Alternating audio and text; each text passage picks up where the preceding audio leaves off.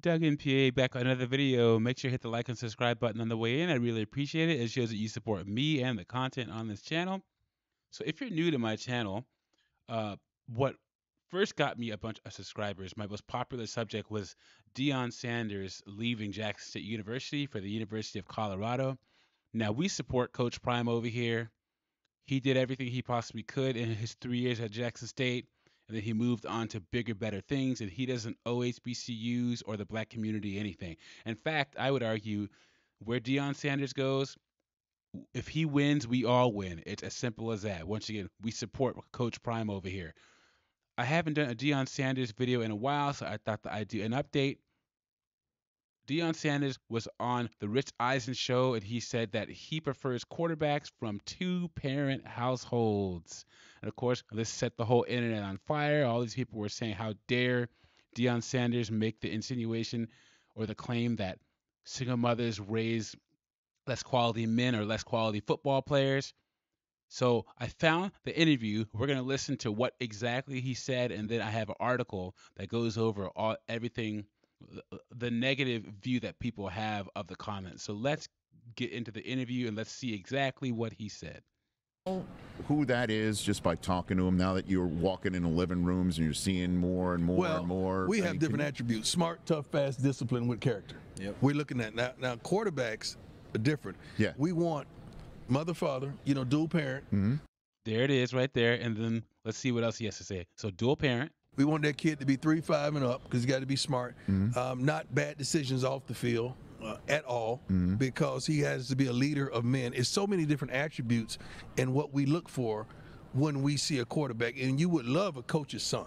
Somewhere that the coach has coached him, and I'm not going down my road. I see you smiling because I know Well, what 'cause you. I know, I, I know. Okay, so that was the comment. And he goes on later to say that he likes linebackers that are from single mother homes because they're complete savages on the field and you know they can get really angry and and they do the job of a linebacker really really well. So put in the comments what you think about what he just said. Because I don't see a problem with it. You know, I came from a two parent household. My father was a physician. He was a strong, masculine man. He showed my brother and I how to be men. We became uh, successful. And then um I I live in the DMV area and there's a lot of boys.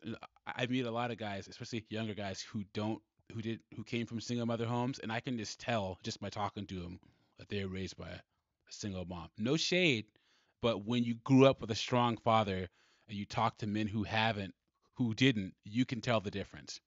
So let's go over to this article here.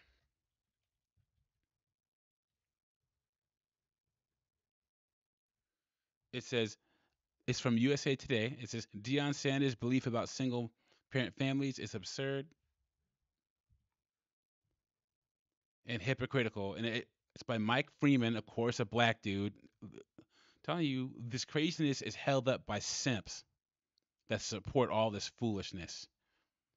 Female empowerment, feminism, female foolishness cannot exist without simps holding the whole thing up and backing it all up. Anyway, so let's see what this Mike Freeman guy has to say. He says, I want to take you into the future, and Tom Brady's son is a star high school quarterback. He leads the country in passing yards and touchdowns. Recruiters from around the nation are camping at Brady's house. He's the best prospect in the history of high school football. Brady's son decides he wants to check out Deion Sanders in the University of Colorado or whatever school Sanders is in at the future because he likes Sanders, and Brady has told some good stories over the years. Sanders and young Brady hit it off, and looks like Brady has found his college home. However, there's a problem. Brady, doesn't meet one of Sanders' criteria for playing quarterback at Colorado. So Brady picks the University of Michigan instead. So this is a complete hypothetical. What's the criterion? What's the remarkably dumb, non scientific, and insulting criteria set that caused young Brady to pick his old man school? The lack of a dual parent household. In a recent interview with the Rich Eisen show, Sanders was asked what attributes he looks for in his players.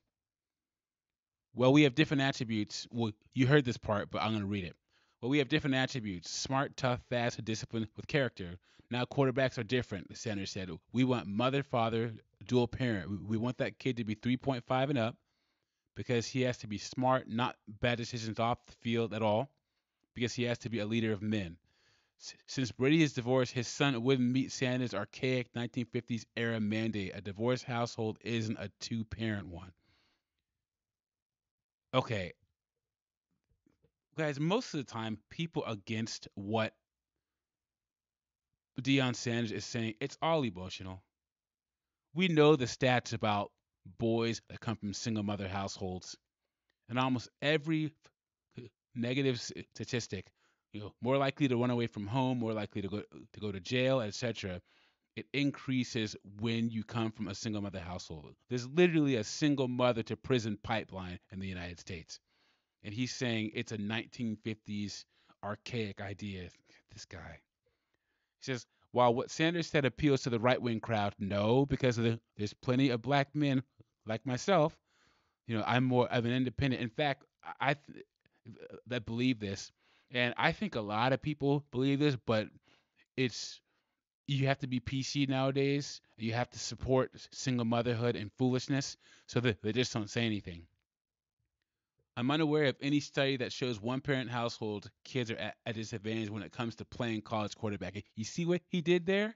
He said household kids are at a disadvantage when it comes to playing college quarterback. But we do see studies that show that they're at a disadvantage in almost every other co- conceivable part of life. So he tried to pull the okey doke right there. If you know one, please shoot me a note. And also, what if a parent died when a kid was young? What if a parent left before the kid even knew the father or mother? There's a certain sense of, well, grossness about setting this type of artificial social construct. How is having two parents an artificial social construct? This is where we are. Guys, the nuclear family is the best way to raise children, and the West is one of the only places that has lost sight of that. Now, I understand things happen, but still, even even getting a step parent, but a marriage, mother, father, and kids in the home is the best way to go about raising children. There's no debate in that, none. It says there's also a level of tactical stupidity here. By taking this stance, Sanders is potentially alienating a large swath of candidates from coast to coast of all economic backgrounds. One survey found that in 2002, there were about 16 million children living with a single mother and over 3 million children living with, with a single dad. 16 million kids living with a single mother. That is crazy. That's a lot of potential quarterbacks Sanders could be passing up. Look, it's I'm going to sum this up by saying it's his team, his coaches, his program, and he can recruit players however he wants. He already showed at Jackson State in Jackson, Mississippi that, that he can make things happen, and they're giving him University Colorado is giving him a lot of way to, a lot of leeway and a lot of resources to get the job done. He understands the task ahead of him, so he's going to run it his way. And if I had to perform, if I had the expectations that University of Colorado is putting on me, like they're putting on Deion Sanders, I'd be looking for as many football players from two parent households as I could. But that's just me. Like, subscribe, comment, and tell me what you think about this, and I will catch you on the next one.